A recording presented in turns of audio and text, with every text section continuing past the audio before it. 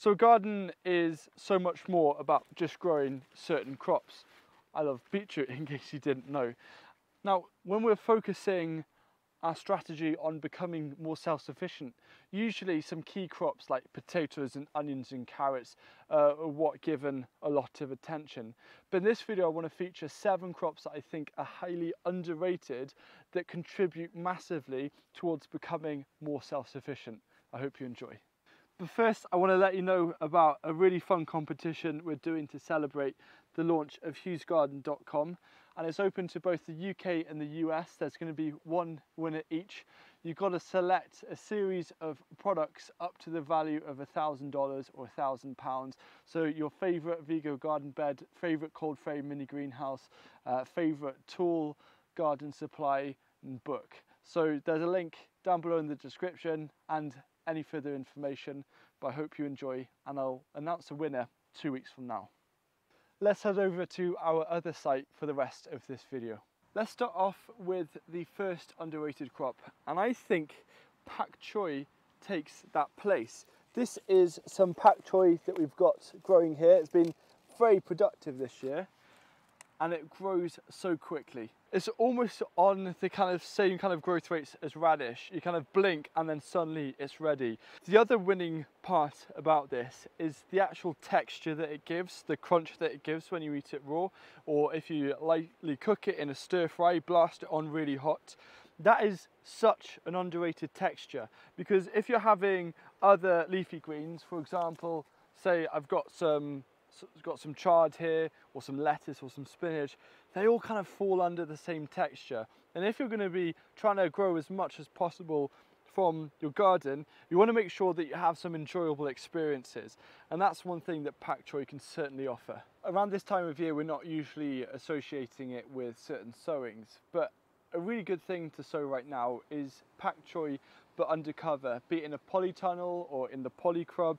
Uh, you could also double insulate it using a cold frame, for example, using a cold frame within a polytunnel and grow pak choi because I found that it overwinters really well in an undercover growing space and it's a beautiful green and harvest to enjoy during those dark winter days. Another underrated crop which has a bit of a love slash hate relationship with various gardens but for me I love it it's Jerusalem artichokes, also known as sunchokes. And right now they're flowering and they look absolutely stunning, especially when the sun comes out. They just absolutely glow. This is a kind of crop that you just plant and forget. It's a tuber and this, these all here have come from our main garden and we've been growing them using the exact same initial stock of tubers for around 15 years. So the great thing about this crop is you don't actually have to worry about storage. So you let it grow all year, it will outcompete any of the weeds. And then uh, from kind of December through to March, you just dig up, yes, dig up, I said the dig word, dig up and enjoy the roots as and when you want them. And simply to replant, you just put a nice big dollop of compost or some well broken down manure, put a tuber spaced every 30 centimeters or a foot, just under a foot deep, and it will come back every single year. Next underrated crop is beetroot or beet. Uh, this is such a stunning vegetable, but I feel it's really underappreciated. And I think it's actually down to the, the way that people cook it. And recently my colleague Sam, who's written the book The Nature of Food, you might have seen, he showed me the best way to cook beetroot and I'm never gonna look back. What it consists of is turning your fan oven to around 180 degrees Celsius, just giving these a bit of a wash, but chucking them in, take off the root and the, and the leaves, that's it. Let it cook for about an hour to an hour and a half and then let it cool for about 20 minutes. And then all you do is you peel off the skin and what you've got is such a beautiful sweet roasted root to enjoy. You can have it hot, you can have it cold, and as well, the other thing about beetroot is there's golden beetroot. So if you're not so keen on the earthy flavour of this crop, golden beetroot will completely change your life because it's a, it's a beetroot but it has so much more sweetness and less of that earthiness. And it can be cooked in the exact same way. The other thing about beetroot, which is also overlooked, is it's, I think, one of the easiest vegetables you can grow. And I've also found over time that the performance, this here is just some, some golden beetroot. You can see the colour, absolutely stunning. We found that whether it's direct sown or multi-sown in modules and then transplanted, both work really well. So choose your favourite way to grow beetroot, grow a lot of it. It also stores quite well in the ground.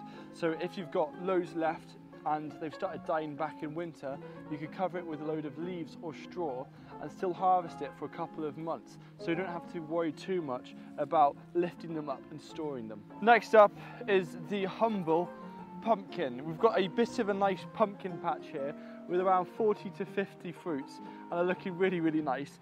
But there's actually a reason why this is highly underrated. And it's because you can use it as a dual purpose. Whether you want to use it in sweet recipes or savoury recipes, a pumpkin is suitable for it. You know, pumpkin soup, pumpkin pie, very savoury, but also very sweet. Absolutely quintessential autumn foods. So the other thing that I love about pumpkin as well is if you've got a patch of land like we had here, we just needed to fill it with something, pumpkins is perfect for that because they'll just spread over, take over, they need some space to stretch their arms. And that's what they've done here and they've yielded really nice. So if you do have a patch of land that just needs something growing on them, absolutely turn to pumpkins. You don't even need much compost for them. You don't need to put compost over the whole area. You just put it in the individual transplant holes for the fruit.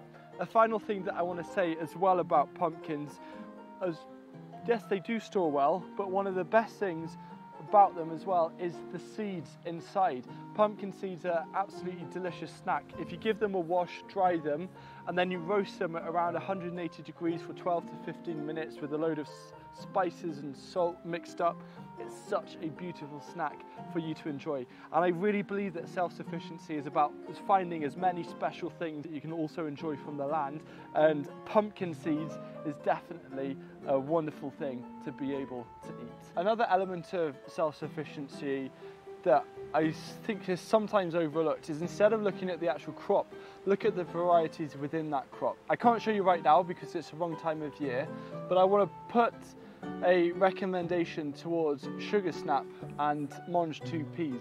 The reason why these I think are better for self-sufficiency than garden peas is you're not going to spend hours podding hundreds of pods. Instead, you can blanch and freeze them really quickly at scale so you can store and enjoy peas which taste amazing but enjoy them throughout autumn and winter. And the details on how to best store podded peas, as in the pea pods, not just the individual garden peas, will be down in the video description. I bet you weren't expecting this next one, but I'm actually going to promote mint as an underrated crop for self-sufficiency. And it comes under that umbrella of trying to find as much enjoyment and satisfaction from your garden and not settling for less. The thing that I love so much about mint is of course its flavour. And one of the things that isn't spoken much about in self-sufficiency is just drinks, hot drinks. And being able to come to the garden and grab a massive handful of mint and then create a tea, a fresh mint tea, is so enjoyable. I can never get bored of it. And that's something that I think we should all implement in our gardens. If you have a space where you can confine it, that's even better. Another thing you can do as well is turn mint into a mint syrup. So you can start to get a little bit more creative with it.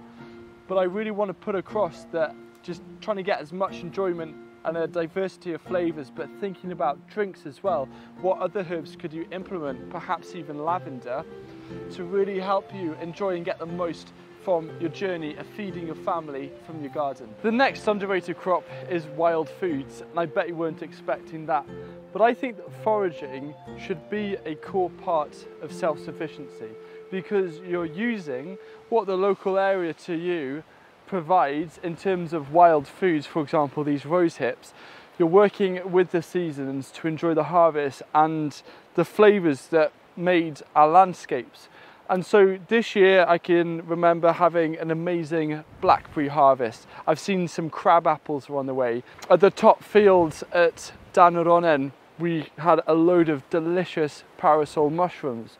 The main thing about foraging though is to understand the rules, what you should and shouldn't do, and to always make sure that you leave plenty for other beings, be it other people wanting to forage, but also for the animals. I also feel that nettles are really important wild food to enjoy and they're so abundant and they even grow in our gardens. Whether they should or shouldn't is another question. And I'm also thinking about wild garlic, of course, which you can domesticate and grow yourself. So if foraging is new to you, there's loads of resources out there, great YouTube channels, but really if you can, try and find a local forager and do a day course with them because they're gonna have the best knowledge. And the real thing is, is seeing foraging as a nice fun supplement to being in the garden. Sometimes it's really important that we go beyond our garden gate and experience what other harvests we can enjoy even on a windy day like today.